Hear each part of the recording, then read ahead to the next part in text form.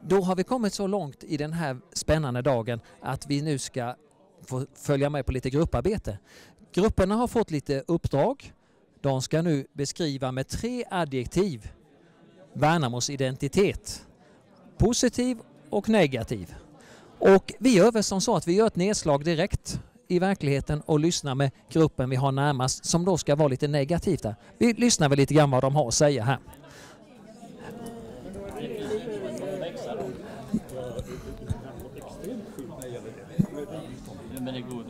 Nu, nu slår vi ner lite i verkligheten här och lyssnar på er. Nu hörde jag att ni tyckte att Värnamo var extremt fult. Jag provocerar lite grann här och det är att Värnamo har unikt antal rivningstomter som vissa vill kalla parkeringsplatser, men det är ju rivningstomter. Man har rivit hus och man har inte byggt något och så har det blivit parkering. Precis, och det är någonting som man kan göra något åt. Och då har ni hittat någonting på den här kartan också? Ja, vi vet ju vilka de där tomterna är, eller eh, parkeringarna. Vi har här, vi har här, vi har här.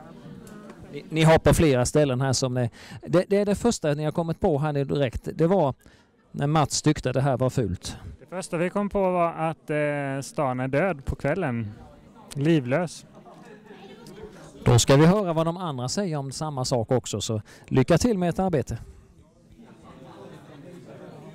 Vi går väl vidare till nästa negativa grupp då som ska också på samma sätt leta upp negativa impulser och vad man tänker på när man är på dåligt humör i Värnamo. Eh, jag tror att det var, det var någonstans här. Vi ska, jag ska smyga in här får vi se om vi kan vara med här på ett hörn. Det,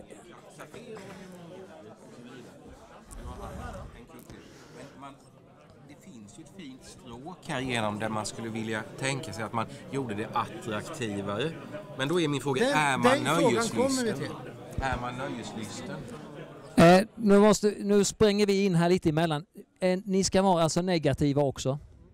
Ja, ni är negativa. Vad var, det, vad var det första ni tänkte som var riktigt negativt där då? Icke nöjeslyssna.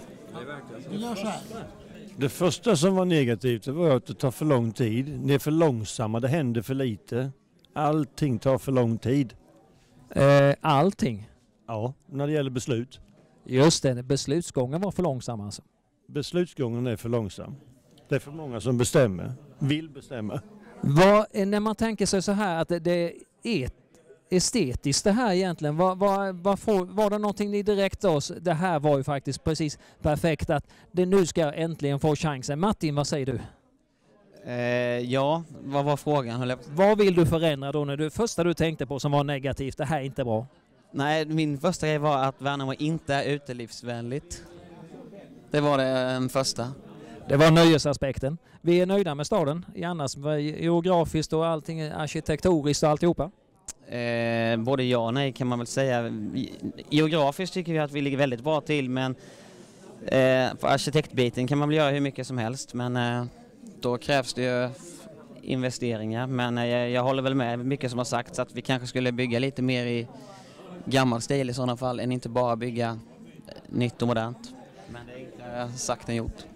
Vi säger väl så att lycka till här och låt den här diskussionen vara riktigt livlig nu här så att vi får fina resultat. Lycka till och vara negativa då. Då så går vi vidare och då ska vi se här om vi flyttar oss över till detta bordet så har vi eh, ett spännande här. Nu ska vi smyger vi in lite grann försiktigt här och lyssnar på vad, vad ni sysslar med här för någonting. Är ni positiva eller negativa? Vi är negativa. Ni är negativa. Eh, ni försöker vara en negativ attityd. Får jag, får jag fråga då Stina? eh, Vad var det första när du fick det här uppdraget? Vad var det första du tänkte, det är inte bra? Vi jag började fokusera på det som var positivt för det var det vi fick lappen först. Så att, eh, och då så tänkte jag att vi är resursstarka och då tänker jag på människorna som bor här att det är en enorm resurs för att vi har en, eh, en eh, sån anda som eh, har en stor potential tror jag. Men om du då nu, nu fick veta att nu var det negativt, nu skulle vara, då var det desto svårare då alltså? Vi ska gå vidare. Lycka till med ett arbete.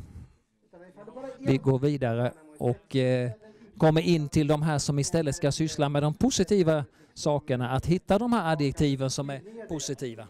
Det är, ska vi se lite grann här, vi ska springa in till ett bord. Om jag backar bakom mig här så har vi nog lite glada... På, när vi kommer... När vi kommer till detta bordet så är det bara glada miner. Det innebär att ni måste vara positiva här. Ja, då är, nu måste vi få lyssna lite grann i... Nu är, ni, nu är ni i direktsändning nämligen och nu ska ni få berätta. När ni fick den här uppgiften, vad var det första ni tänkte? Det här, det är jättebra. Karl? Vi vill bara ta det positiva sa vi direkt. Det var det viktigaste. Helt klart. vad var det som var riktigt bra här? Vad är de här adjektiven? Hittade ni något direkt? Oh ja, en hel del. Eh, flitiga, idérika, att det är vackert, handlingskraftiga och så vidare och så vidare. Hur mycket som helst. Det var en ganska tacksam uppgift med andra ord. Då. Ja, och vad säger, om vi ska gå över här nu ska vi se om han hänger med här. Eh, för det är ju så här att det gäller att skapa en attraktiv och trevlig miljö. Lars, du har ju berättat lite grann om nya planer. Vad var din första tanke? Du är ju proffs på detta.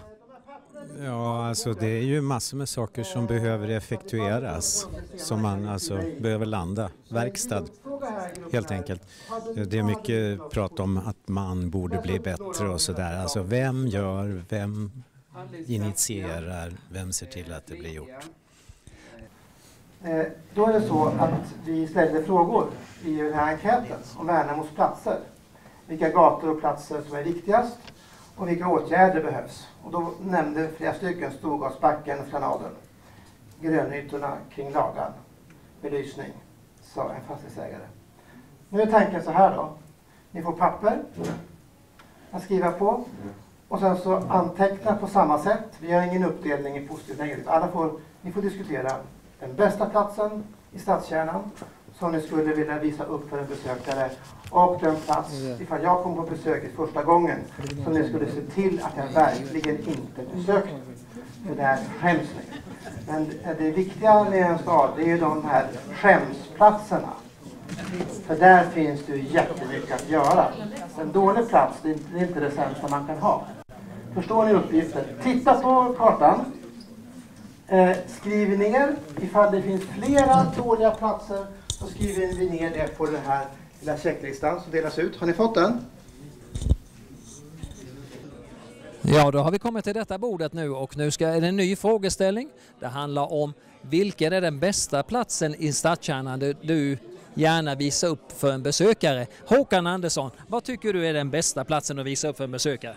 Ja, vi har ju pratat om det i gruppen så det är ju eh, café, eh, nej, vad heter det, på Pelikanen där man sitter en vacker sommarkväll och utomhus och så vidare vid eh, glittrande Lagaån. Där är nog den bästa platsen. Storgadsbacken är också en jättebra grej att visa. Då fick vi en bra bild utav vad man kan visa upp och vad man bör visa upp också i Värnamo. Men Rolf Karlsson, Rolf Karlsson, oh, vad är det du absolut inte visar upp en besökare om det är de som kommer till Värnamo? Det du ser på andra sidan gatan, fyllekoren. Det är den här eh, för platsen för de som är intelligenta, som någon sa, A-laget. Jajamän, precis. I övrigt är ni ganska överens om att det har varit snyggt och bra överlag eller är det fler ställen som borde kunna åtgärdas ganska snart? Ja, ärligt talat så har vi inte kommit så långt. Det är lite andra delen på bordet som tittar på det negativa och vi är på det positiva. Men överlag så är det mer, mer positivt än negativt. Det låter intressant. Vi ska gå vidare tror jag och titta på nästa bord också som har, eh, nu börjar post-it-lapparna komma fram och då är det ju betydligt lättare att se vad som är positivt och negativt. Vi får se lite grann vad, hur långt de har kommit här. Här har ramlat in också lite lappar, inte så många än men jag ser här skrivs på lite lappar. Har ni fler intressanta platser? Under viadukten. Nu ska vi se, vad har, vad har, ni, vad har ni kommit fram till för någonting här nu då? Sätta den under viadukten, men jag hittar inte viadukten. Det är jobbigt där att inte hitta viadukten. Där, där var fult. Är det något mer som ni tycker har varit eh, att det här, det här var inte kul alls? Eh, Ja, kuren ska jag sätta säger de. Där är den va? Nej, där va? Som, som ni hör så är det eh, högt i taket här och stora diskussioner. Jag tror vi ska byta plats med kameran här för här har vi ju en av stans ledande personligheter som sitter på andra sidan.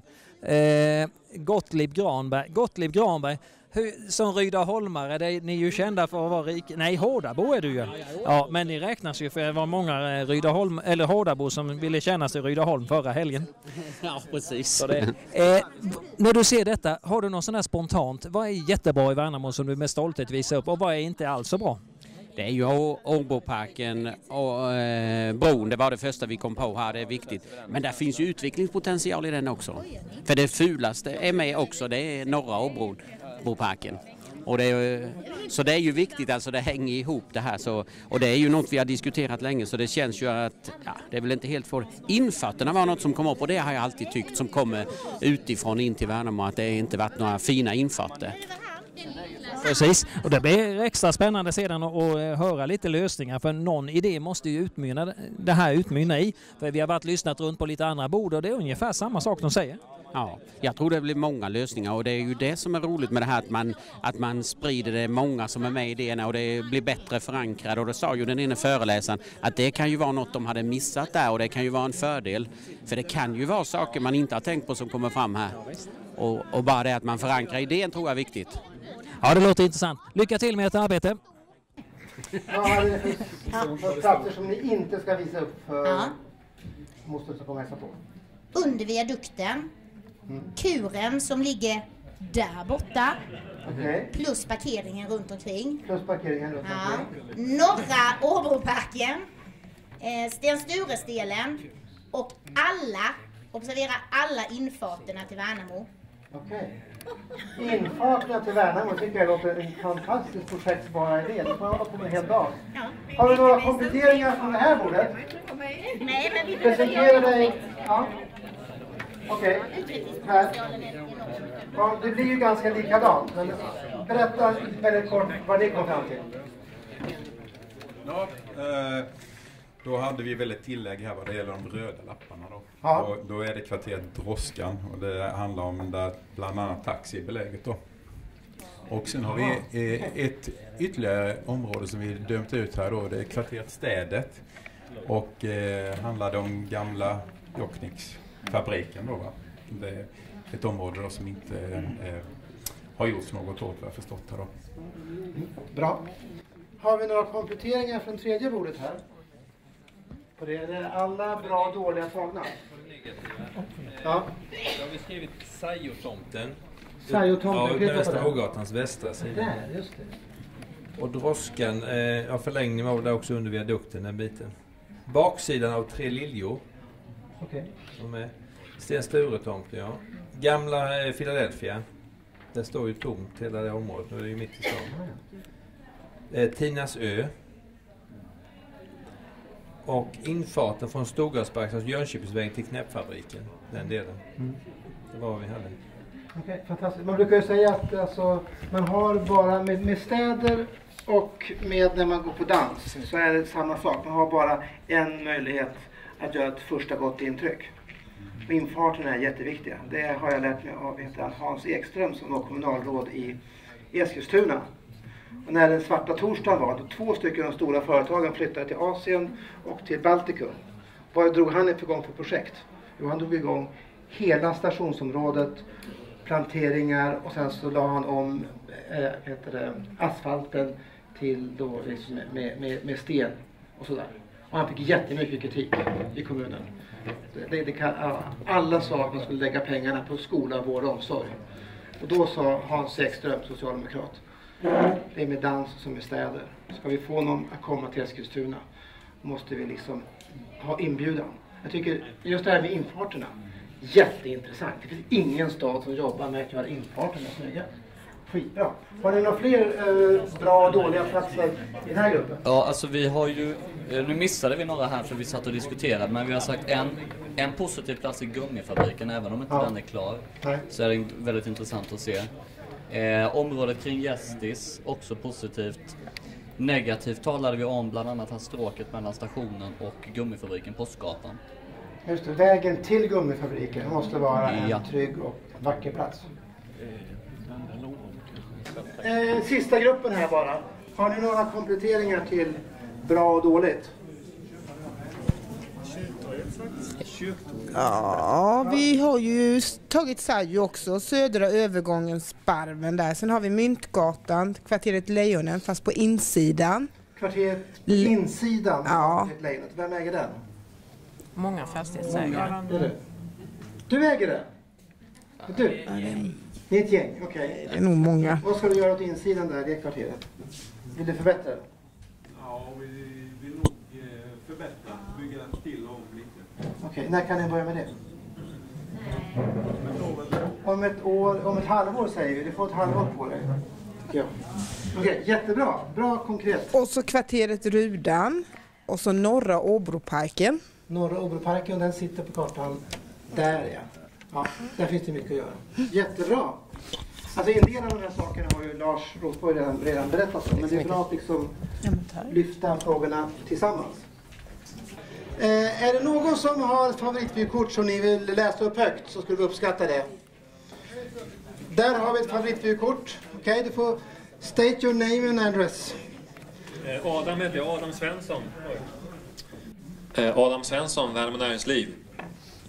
Kära farbror, tack för att du visade oss gummifabriken och det rika utbudet av upplevelser som fanns där. Segwayturen till Vandalorum genom Appladalen gav ett bestående intryck. Att åka längs lagan och känna närheten till vattnet och se de fantastiska hängande husen gör att jag nu funderar på att flytta till Värnamo. Det genomgående medvetna miljötänket som speglar sig i arkitektur och stadsbild är världsledande. Wow! Fantastiskt! Och peka på kartan var de hängande husen är någonstans. Och så får du göra en till liten grön lapp där på den platsen tycker jag. Här Där har, där har de hängande husen. Ja, jättebra. Okej, har vi någon som ska slå det här? Har ni skrivit? Du, du har en?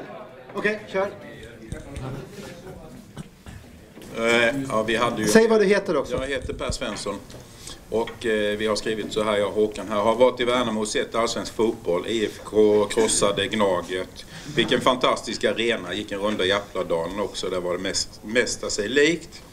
Och sen eh, så har vi inte hunnit skriva mer.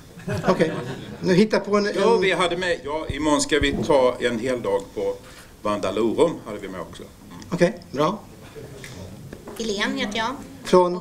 Vad var du med? Eh, Trendhouse. Jag jobbar i en butik här i stan. Och vi har skrivit så här. Hej Mia! Nu har jag precis kommit tillbaka från en fantastisk upplevelse i lilla Värnamo. Jag har suttit ner vid bryggorna vid lagan och ätit god mat. Shoppat i den nyrenoverade och unika stadskärnan med ett glastak som räddade oss från ösregnet som kom. Vi avslutade med att ta båten från centrum som tog oss till Osudden för ett härligt kvällstopp. Puss och kram. Wow, fint! Jättebra, ni vann. Okej, en till. Karl Helge känner alla? Ja. Hallå! Eh, Karl Helgesson heter jag, tillväxtstrateg och jag har jobbat med Erik Andersson från Länstrafiken. Precis. Och eh, vi, vi skriver till eh, Erik Syrra här. Kan du tänka dig? Idag körde jag in i Värnamo tack vare den stora lockande digitala skylten som uppmanar mig att svänga av E4. Jag möttes av en massa kultur och design på Vandalorum och Gummifabriken. Utbudet av restauranger och barer var anmärkningsvärt för en stad i den här storleken. Det fanns till och med en tvåstjärnig Michelin-restaurang. Så jag valde att sova över, äta god mat och såg allsvensk fotbollsmatch med IFK Värnamo. Hej, jag heter Erland. Two faces, you know. Jag skrev till en, en gammal bekant. Eh, hej och svejs. Överraskad att stan var så stor, det trodde jag inte.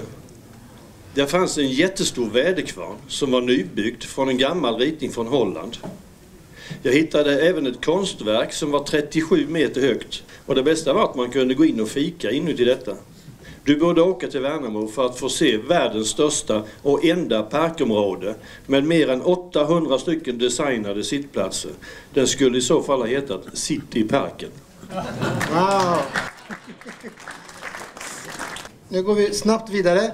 Prata utbud och vi har gjort enkäter som ni har skickat in. Eh, och jag tänkte bara redovisa det inför nästa övning. Om man tittar på vad ni har så är det väldigt mycket kläder. Och om man tänker om tio år, hur många av de här klädbutikerna finns kvar? Eh, sen så är det ganska jämnt. Men jag tycker det viktiga är vad det är som saknas. Det kan hända någonting faller bort. Och Antingen blir det tomt eller så hittar man nå- någonting nytt. När man tittar på hur verksamheten har utvecklats under de senaste fem åren så är de flesta ganska nöjda. Men fastighetsägarna är mera nöjda än näringsidkarna. Och det kan ju säga någonting om då villkor, skötsel, eh, kanske hyresnivåer, någonting sånt där. Här finns det någonting som gror lite grann och det tror jag det är jätteviktigt. Och för fastighetsägarna, det händer ju dramatiska saker på andra ställen.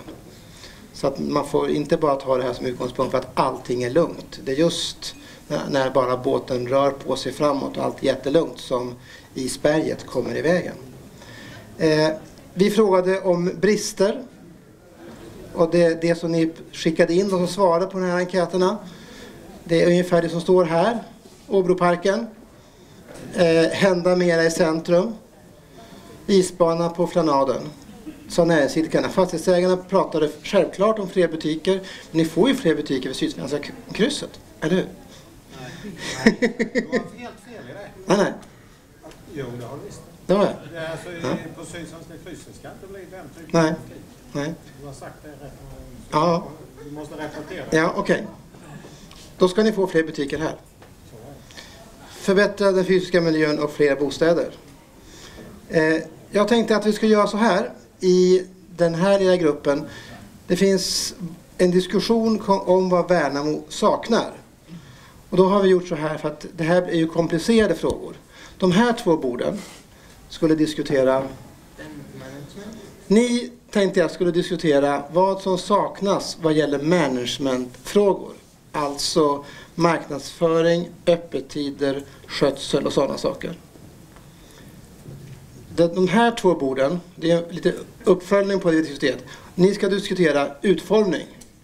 Och gå gärna in mera i detalj och skriv då liksom vad är det med eh, butiker, nej utformning, stadsmiljö, parkbelysning. Men skriv inte bara bättre park utan plantera fem träd där eller ställ ut sju stycken eh, ja, soffor där. Eller någonting sånt där. De två borden, det står på pappret där. Och de här två borden, eh, innehåll. Erbjudanden, toaletter, service, utbud. Så har ni en diskussion om det. En i varje grupp skriver ner vad ni kommer fram till. Och sen tar vi en snabb runda så att alla får höra vad ni har sagt. Okej, okay. ni har pratat om management i bred betydelse. Vad är era highlights som ni tycker är viktigt, som ni vill ge, säga till de andra? Vi har börjat med Det är inte några frågor.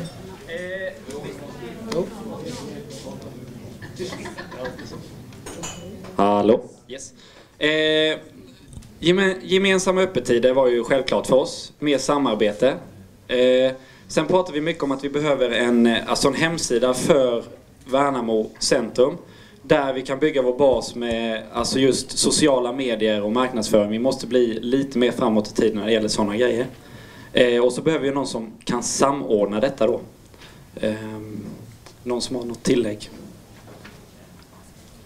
Ja, just det. Att man sammanordnar, har man event i stan så är det någonting man samma, samma, samordnar med centrum och alltså butikerna, kommunen, eh, all, allt så att säga. Så att alla aktiviteter är synkroniserade så att säga. Yes. Hur ser öppettiderna ut idag? Ja du. Ja, det är blandat. Ja. Hur, mycket, hur många butiker har öppet på söndagarna? In, jo, eh, Åhléns. Åhléns. Är det någon handlare i det här rummet som inte har öppet på söndag? Finns det någon här? Ja. Varför? Eh, Ni tjänar så bra så ni behöver inte. Lite så är det. Nej. Eh, Nej men... Nej men det är alltså vi, vi, just nu så är vi där tror jag att vi behöver diskutera hur vi ska göra med lördagarna i första hand och sen söndagarna kommer bli nästa steg. Mm. Ja. Det är ju där det är blandat.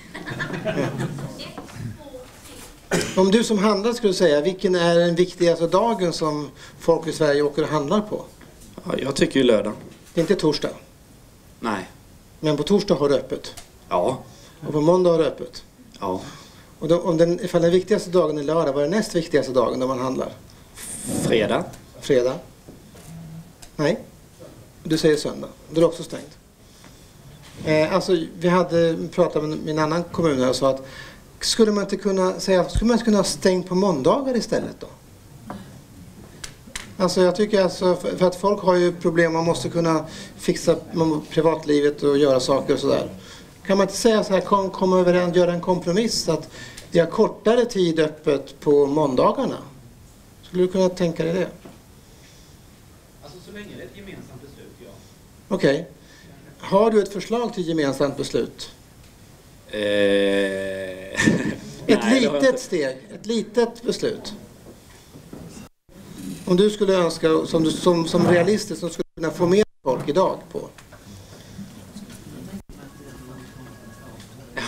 Ja, det är ju, alltså, jag, jag är ju för att alla ska öppet till tre på lördagar. Okej. Mm. Att alla tar det klivet för då tror jag att vi kommer få mer folk som stannar längre i stan så att säga. Mm. Det tror jag också. Är det någon annan som vill kommentera det? Ja?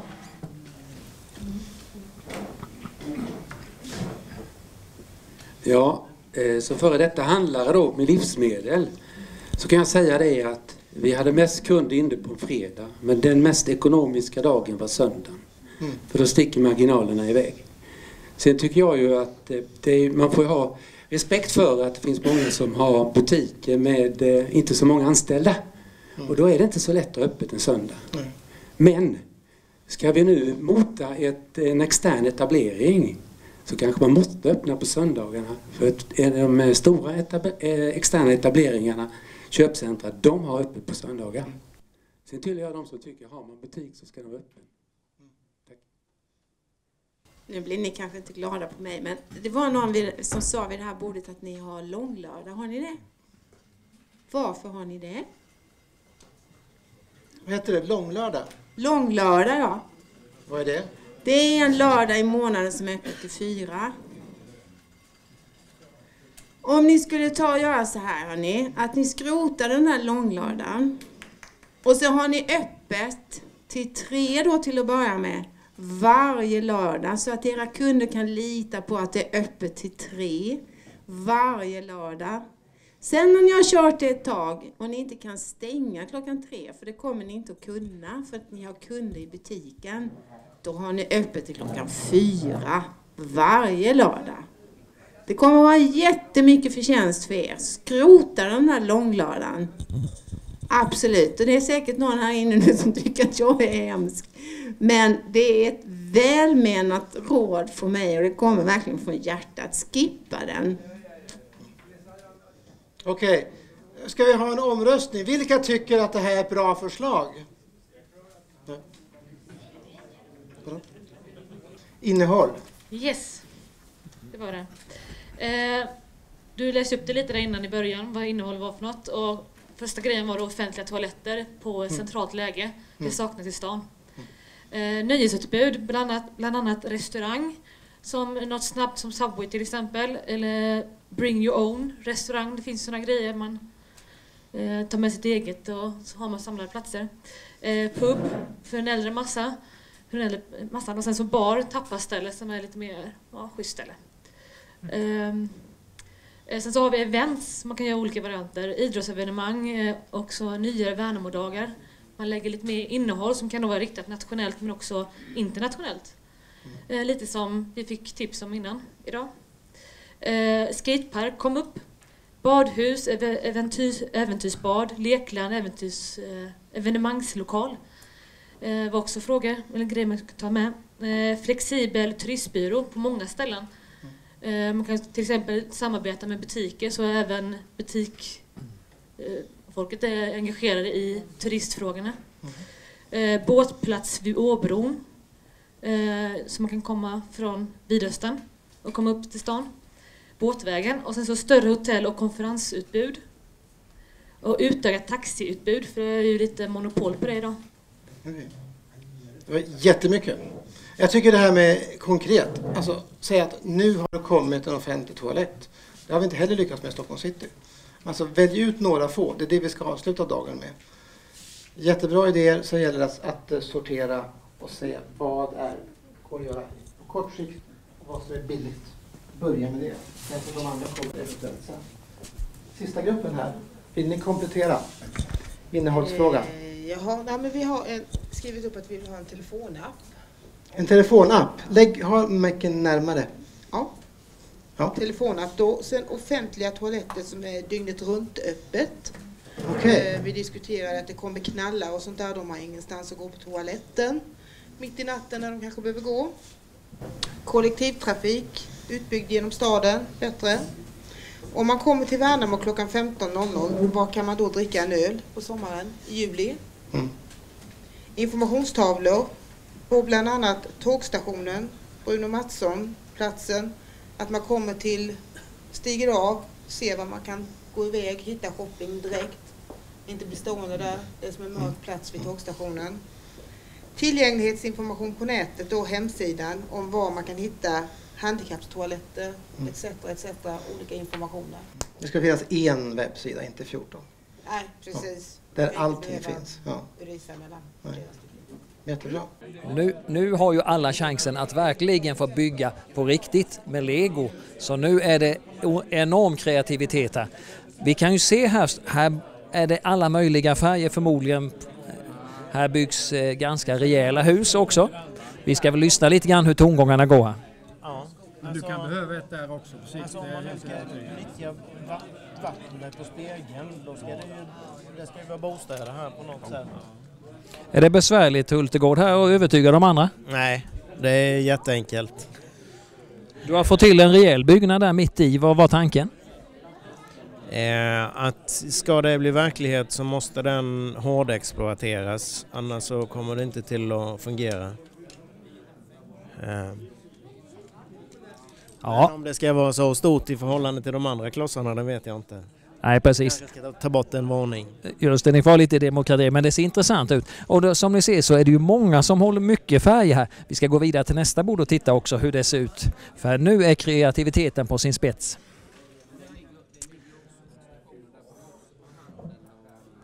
Här borta var man vid detta bordet lite försiktiga innan här när man byggde på, men, men nu så. Realister. Ni var realistiska, varför det? Nu hade ni chansen att bygga med lego. Ja, men man kan ju inte leva helt i fantasin. måste ju finnas lite verklighet också. Precis. Vad, vad, är, det, vad är den största, vad var ni mest eniga om i, i det här bygget? Vi har inte varit oeniga Vi är inte oeniga på något vis. Men vi började ju faktiskt där uppe vid gummifabriken. Bland annat eh, garaget, parkeringshuset. Ja, och, ja det, och sen ser jag att det ligger tungt här, norra delen uppe där ja. Eh, finns det några, plan, har ni några planer? En del har använder nya simhallar och nya skolor och sånt. Finns det några sådana idéer här? Så långt har vi nog inte kommit än. Då får ni, får ni bygga på här så återkommer vi. Vi går väl vidare och tittar på nästa bord. Eh, som på det här viset så skapar man ju en, en väldigt kreativ och ganska väl bild på, för alla och alla är väldigt aktiva i den här vad ska vi kalla leken eller framtidsdrömmen. Vi kikar väl på nästa här så ska vi se. Vi går bort till ett bord där de har... Eh, ska se, vad ska vi... Vi ska se något där de har verkligen spejsat till det. Om vi tittar här, för här är vilda diskussioner.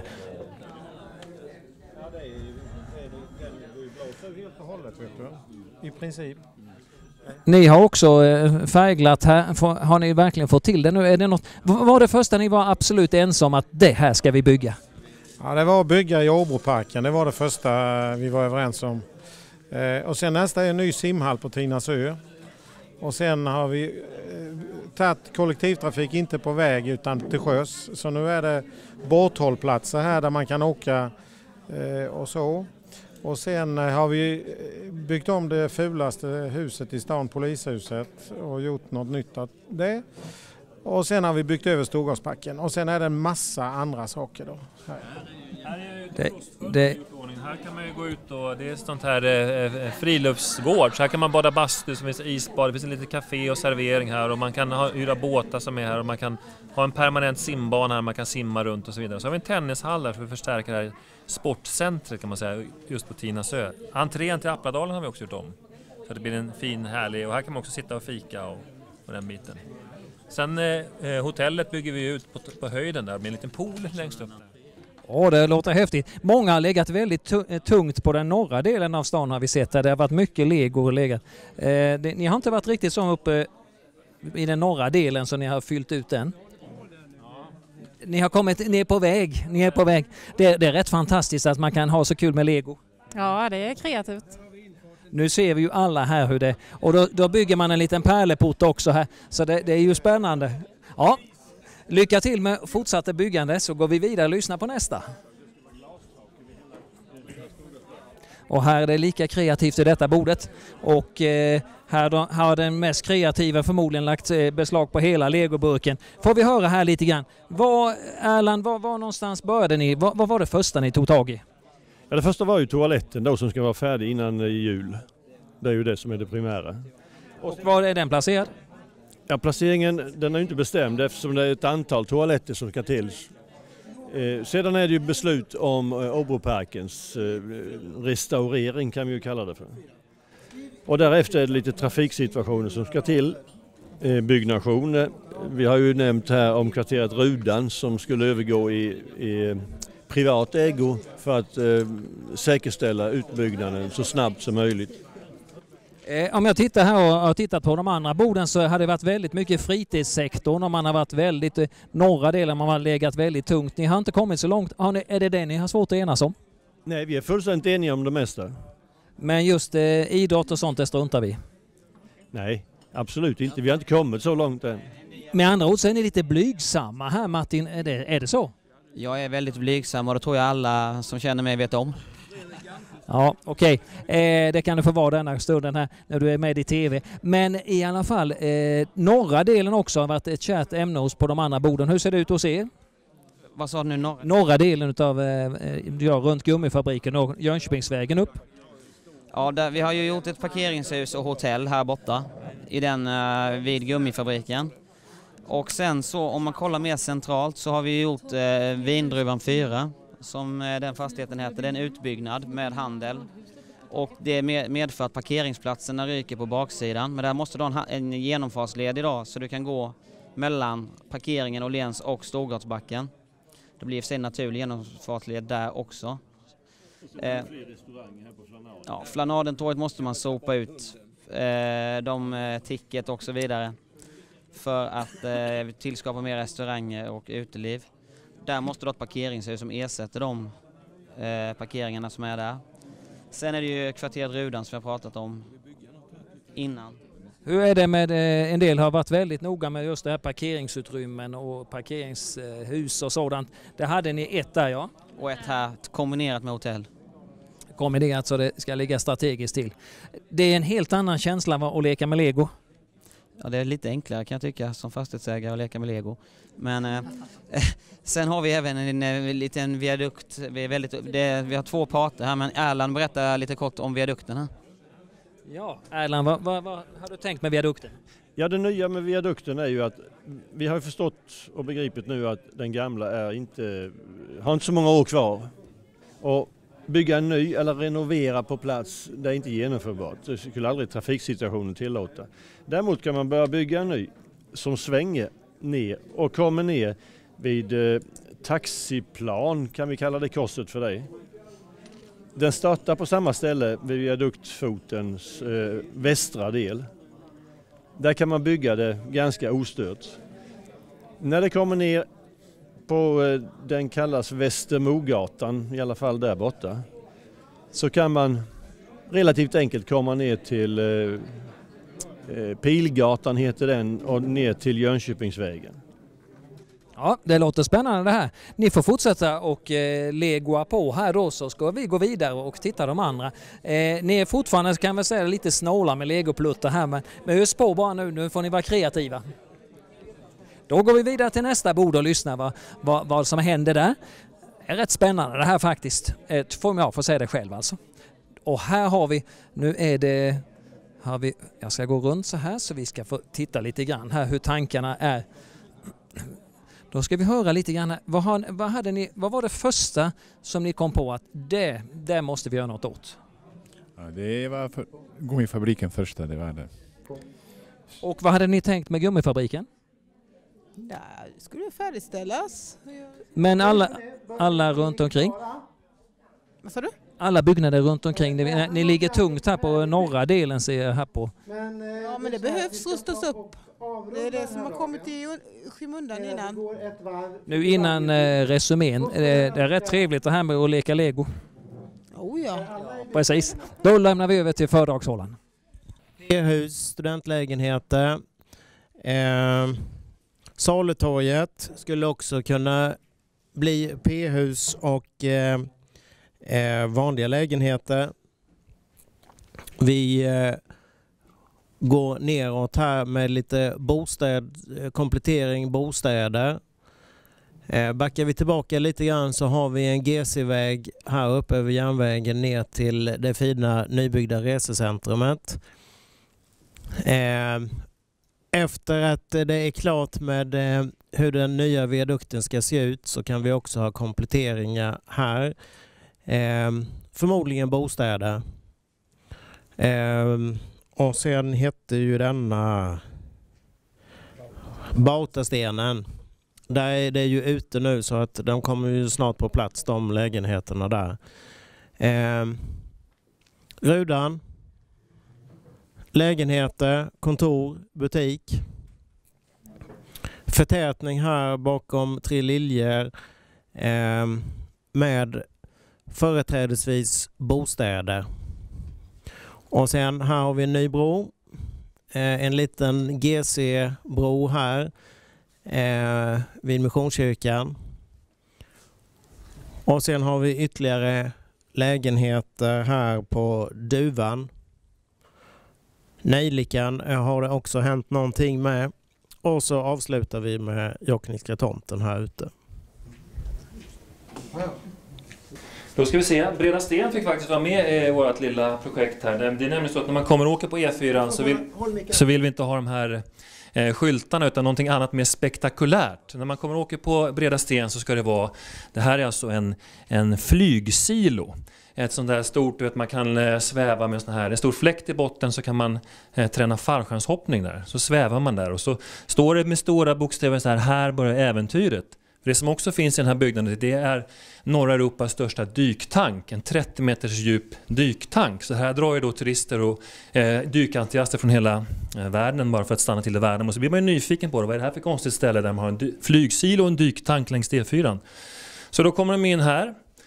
Eh, var kan vi börja någonstans? Jo, Jokknikkstomten har vi byggt på. Där är det bostäder. I Prostsjön här har vi en liten brygga med ett litet café.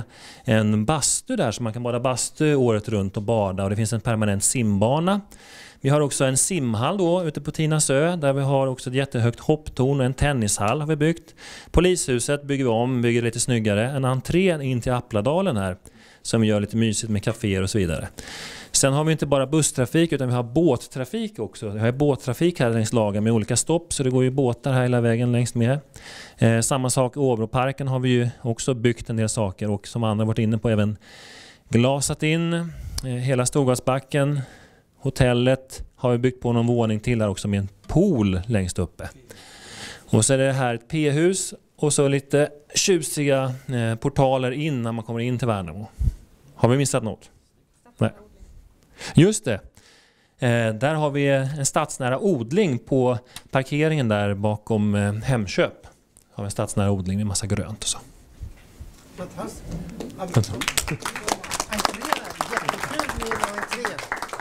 Kul med en entré med ett innehåll tycker jag.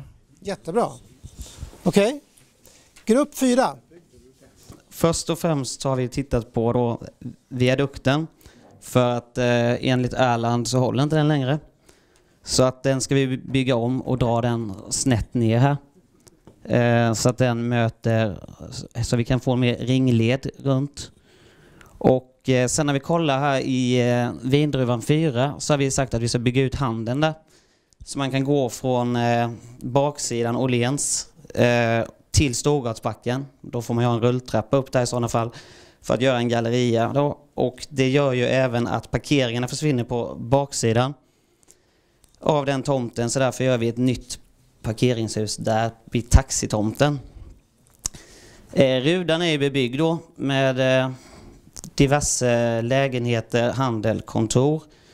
Och sen så eh, har vi mer. Jo, vi har ett hotell och parkeringshus borta vid eh, mejeriet idag för det är för tråkigt. Så som det ser ut och det kommer att behövas. Sen hade vi, eh, hjälp mig om jag har fel, vi gjorde ju den här flashiga restaurangen här nere vid eh, Åboparken. Så vi gjorde och eh, sen så har vi vid Flanadentorget där, där har vi sopat ut också då. Efter att någon har köpt den fastigheten. och eh, gjort restauranger och eh, mer krogar för de som vill. Sen så var vi inne där och på de här vackra husen som hängde ut över eh, lagan. Eh, att det blir verklighet. Och sen får ni hjälpa mig lite eh, här borta. Jokkniska tomten ser ut som att vi har byggt diverse bostäder på. Stämmer det?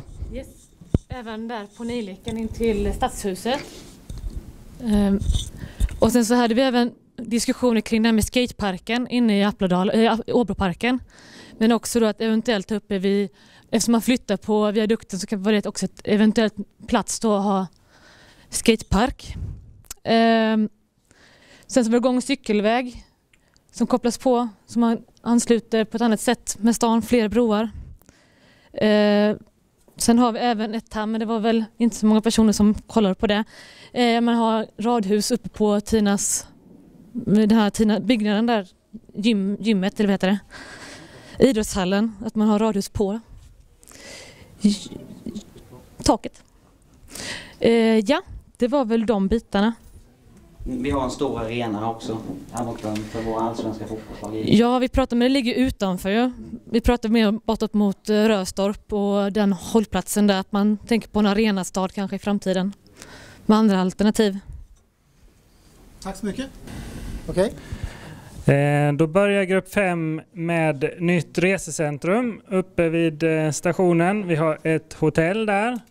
Vi har den här spektakulära eh, gång och cykelbron som svänger sig över spåret så som eh, Sommardesignkontoret påvisade. Vi har helt gjort om gamla Sajo-kvarteret här, bebyggt det och gjort det riktigt trivsamt. Det är väl, vet inte vad vi pratade om inriktning där, men det är väl mycket bostäder. Eh, vi har kompletterat som ni ser eh, Vindruvan-parkeringen bakom Åhléns, Bautastenen, eh, här är det tre liljor, här är de här husen. Vi har Byggarebron där, här strax utanför oss. Vi har cykelbroar på lite olika ställen över lagan. Tinasö, en helt ny eh, multisportarena med kont- konstgräsplan, eh, full, full size, allting. Vi har helt rivt och byggt om Figy till Sveriges modernaste eh, gymnasieskola. Eh, vad har vi mer gjort? Jo, det är ju mer kompletteringar av de här tråkiga tomma utrymmena och eh, Duvan är bebyggt. Vi har gjort Nejlikan, cirkulationsplats där. Vi har en entré till eh, Appladalen som välkomnande och så Jokkniska tomten är färdigbyggd. Hjälp mig någon i gruppen om det är något jag har missat. Prostsjön ja, har vi här med våra 200 nya lägenheter i ett eh, miljösmart eh, koncept i hur en, en stadsdel ska, ska bebyggas. Och vi sparar en miljard på ingen multiarena. Den, den här, vad, vad var det här däcket där? Eh, däcket där, det är ju, vi är ju i Åbroparken och har vår servering och, och damm och, och sådär. Trädäck. Kanske. Okej. Tack så hemskt mycket.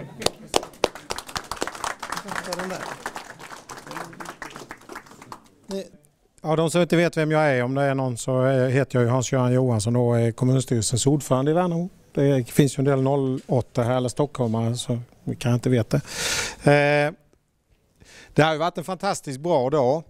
Eh, där man ju faktiskt, det här är ju bättre än jag trodde.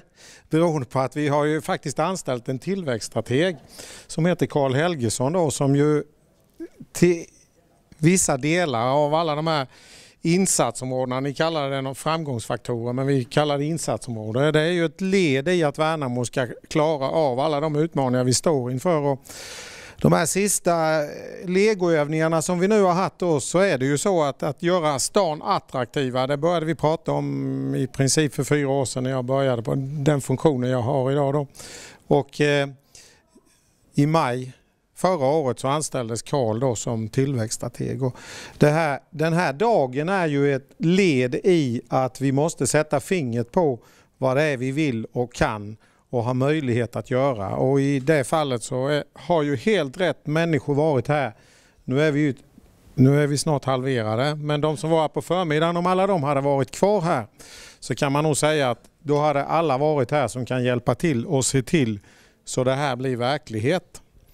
Eh, och det jag tror är viktigt att göra när man nu skriver det här så inte det bara rinner ut i sanden eller det inte blir något av det. Eh, så tror jag det är viktigt att man naturligtvis kokar ihop det här, alla de här dokumenten som nu är förkunnade under dagen. Att man tar tillvara de idéerna och skisserna och tankarna som finns här. Men också att man, jag vet ju att Karl håller på att skapa sådana nätverk omkring sig tillsammans med den kommunala organisationen men också ihop med samhället i övrigt. Att man skapar projektgrupper som jobbar med de här frågorna aktivt nu. För det är ju delaktigheten vi är ute efter och har varit hela tiden i det tillväxtarbetet som vi då började så är det alltså en delaktighet. Alltså det är, och delaktigheten består inte av att vi samarbetar i kommunhuset eller i de politiska partierna utan det är att vi skapar engagemanget ute i samhället.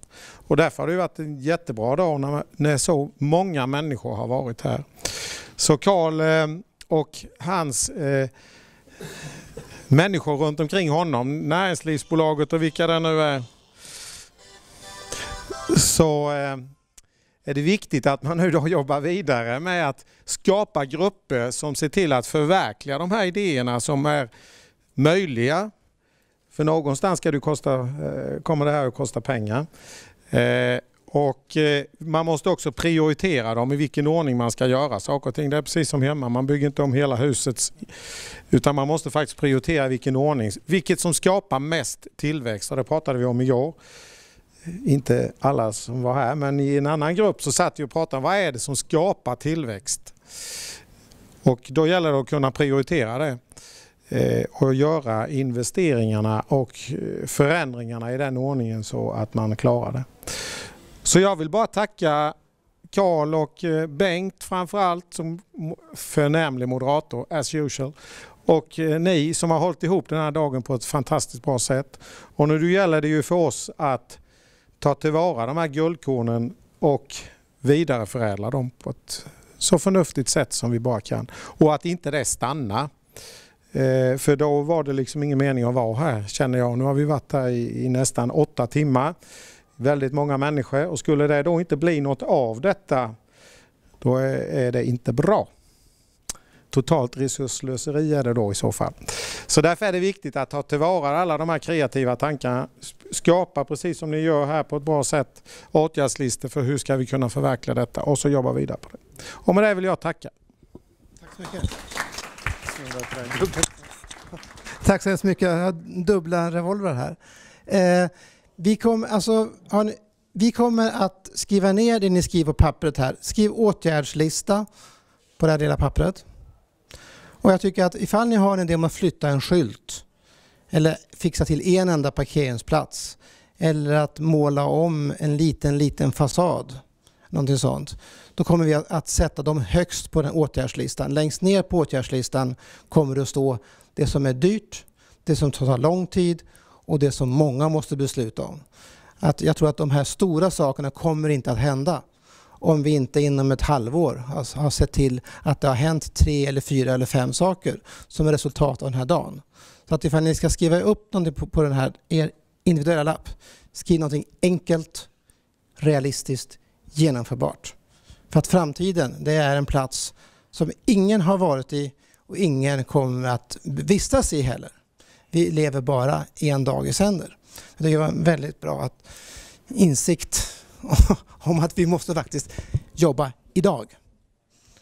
Eh, tack så hemskt mycket för eh, ert deltagande. Och jag kanske ska lämna över och då får du säga att den här dagen är avslutad. Någonting sånt. Har ni, låt papperna ligga, Sk- skriv, eh, skriv läsligt. Vi samlar in och sen så kommer vi ha lite diskussion om dokumentation. Tack så mycket. Tack Gio och Joakim och eh, Peter. Peter skulle väl ha hållit en föreläsning om eh, det här med hur man jobbar konkret för att få ihop handlar och sånt. Joakim och, jo, och Gio skulle egentligen visa lite bilder på modern, exempel på modern investeringsvänlig arkitektur. Det hann vi inte heller med. Men okej, okay. tack så mycket för idag.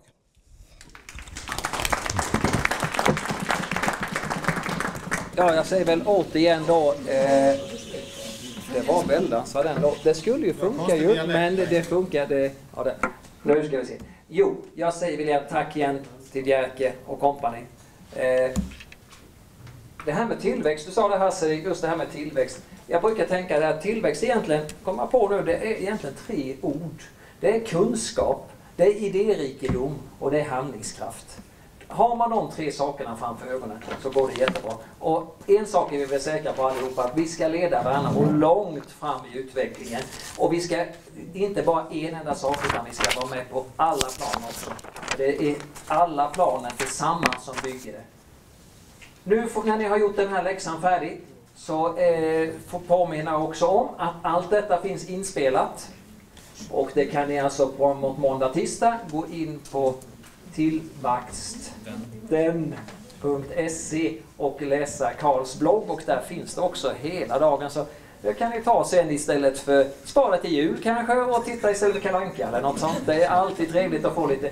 Om inte annat så kommer det sparas och plockas fram om 10, 20, 30 år och då kanske vi får veta vad blev det utav det. Stort tack till alla från Karl.